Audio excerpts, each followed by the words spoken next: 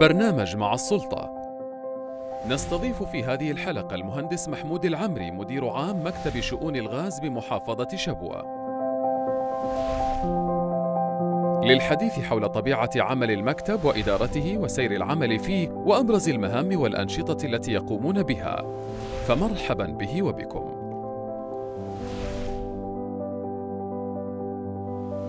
نرحب بالأخوة في مكتب الإعلام محافظة شبوة. على إتاحة الفرصة لنا عبر برنامجهم برنامج مع السلطة شاكرين جهودهم لإيصال صوت السلطة إلى المجتمع الشبواني. نحن في مكتب شؤون الغاز محافظة شبوة مكتب يتبع وزارة النفط والمعادن بحسب قرار الإنشاء رقم أربعة للعام 2008 لهذا المكتب مهام واختصاصات عديدة أهمها آه، التنسيق والتواصل ما بين السلطة في المحافظة وديوان عام الوزارة مع آه، الإدارة العامة للشركة اليمنية لغاز المسال. آه، كذلك المتابعات الميدانية لمشاريع الشركة اليمنية لغاز المسال في محافظة شوة. تتعدى مهام واختصاصات مكتب شؤون الغاز التنسيق والمتابعة إلى إعداد الخطط والدراسات والترويج للمشاريع على مستوى محافظة شبوة في مجال الغاز. حاليا في مكتب الغاز آه، يتكون المكتب من عد آه، تقريبا من عشر إدارات آه، في المكتب. أهمها هي الإدارات الموجودة في أغلب فروع الوزارات الإدارة المالية شؤون الموظفين الإدارة الفنية خدمات وصيانة وكذلك المشتريات و أهمها وأهمها التي نعمل فيها حاليا هي إدارة الغاز المنزلي. هذه الإدارة إدارة الغاز المنزلي حاليا تعمل بالإضافة إلى اللجنة الإشرافية للغاز بالمحافظة المكونة من مكتب الغاز ومكتب التجارة والصناعة والسلطات المحلية بالمديريات. قمنا في مكتب شؤون الغاز خلال السنتين الماضية آه، ومنذ تولينا مهام المكتب على تفعيل الدوام الرسمي في المكتب وذلك بعد وجود مبنى لمكتب شؤون الغاز مبنى حكومي. فمن خلاله آه، فعلنا الدوام الرسمي وتفعيل آه، جوانب حضور الموظفين وانصرافهم.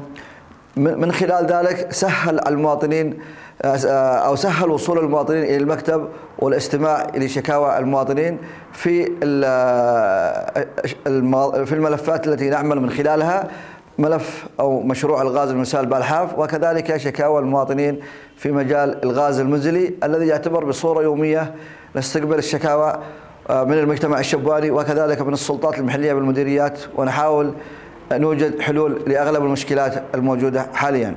كما نعرف إن الغاز المنزلي الواصل لمحافظة شبوة يتم استيراده عبر الشركة اليمنية للغاز YGC صافر من مارب يصل آه، من آه، مارب عبر آه، ينقل عبر قواطر الغاز إلى ثمان محطات في محافظة شبوه ثم يوزع إلى الوكلاء في الأسواق في شبوه نشر يتم الإشراف على هذا الغاز في محافظة شبوه من خلال اللجان الرئيسية للغاز واللجان الفرعية بالمديريات من مكتب شؤون الغاز ومكتب التجارة والصناعة وكذلك السلطات المحلية بالمديريات. الكميات الواصلة إلى محافظة شبوه هي كميات قليلة جدا وتم اعتماد آه، اعتمادها بناء على إحصاء 2004 عندما قمنا بمتابعه الكميات الواصلة خلال 2021 وجدنا أن هناك معدل 63 63 مقطورة تصل للمحافظة. خلال آه، شهريا 63 آه، مقطوره شهريا خلال العام 2021 ونحن نحتاج في الحد الأدنى من 20 إلى 30 مقطوره بالإضافة إلى الكميات السابقة آه، شهريا لتغطية احتياج المحافظة.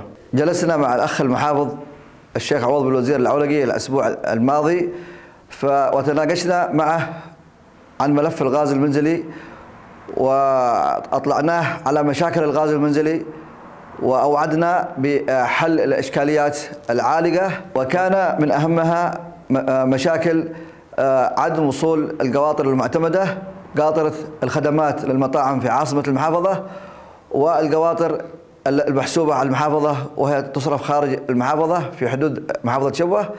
أوعدنا بمتابعة هذا الملف. تواصل الأخ المحافظ مشكورا مع إدارة الشركة اليمنية للغاز صافر وبلغنا مكتب محافظ محافظة شبوة. بتجاوب الشركة اليمنية للغاز وأعتماد القواطر التي تم طلبها في الاجتماع مع المحافظ.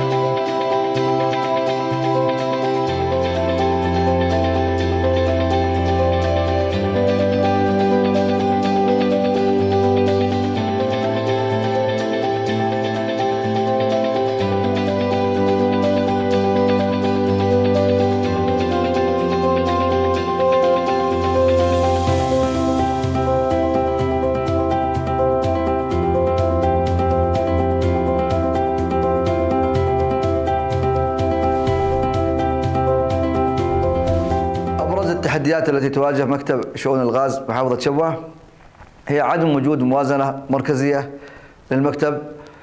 آه، اتساع محافظة شبوة وصعوبة الوصول لأغلب آه، الأماكن في المحطات في المحافظة. كذلك آه، ملف الشائك هو ملف تهريب الغاز. نبذل جهود بالإضافة للمؤسسة الأمنية ونسعى إلى منع التلاعب بالغاز داخل الأسواق ونأمل أن نتغلب على ذلك مستقبلا. بالنسبة للخطة الاستراتيجية لمكتب شؤون الغاز مكتب شؤون الغاز يعتبر استغلال الغاز في المنشآت النفطية داخل محافظة شبوة هو هدف استراتيجي لبناء مشاريع بنية تحتية للمحافظة. آه، فهناك غاز يهدر في آه، شركة أوم بي العقلة. وكذلك الوزارة تعتزم اليوم آه، تشغيل مشروع جنة هنت وسيتم إحراق الغاز الموجود فيه وهو آه، كميات مضاعفة لما هو موجود في شركة العقلة. لو نقول لو نركز على ما هو موجود في شركة العقلة فيتم إحراق 60 مليون قدم مكعب يوميا في الوضع الطبيعي آه، عند تشغيل شركة أو ام في في الوضع الطبيعي. ف 60 مليون قدم مكعب يحرق من 98 إلى يومنا هذا. كان الأولى استغلاله واستثماره حتى يعود الفائدة على المحافظة وعلى الوطن بصورة عامة. فمن أهم المشاريع التي ستبنى من خلال الغاز الذي يحرق آه، محطات الكهرباء التي تعمل بالتوربينات الغاز التي تعمل على الغاز. كذلك آه، وحدات معالجة وفصل الغاز ال بي جي لكود بتروليوم غاز الغاز المنزلي يعني. كذلك ممكن مصانع مصانع البتروكيماويات ممكن تستثمر من خلال الغاز الذي يحرق في محافظة شبوة فهذا هو هدف استراتيجي المفروض إنه يكون المكتب شؤون الغاز وللسلطه في المحافظة ولا بد إنه يعكس للسلطات العليا. ختاما آه، لا ننسى أن نشكر بداية للاخوه في مكتب الإعلام على إتاحة هذه الفرصة وعلى الجهود التي يبذلوها آه، خلال السنوات السابقة. كذلك آه، شكر لقيادة السلطة المحلية ممثلة في آه، الشيخ عوض بن الوزير العولقي ولجان الغاز اللجنة الرئيسية آه، ورئيس الأمين العام الأستاذ عبد ربه هجلة واللجان الفرعية بالمديريات وكذلك الأخوة في زملائي في مكتب شؤون الغاز وزملائي الآخرين في مكتب التجارة والصناعة فهؤلاء هم فرق العمل التي نعمل معهم وأي نجاح وأي جهود تبذل هي من خلالهم. وشكرا.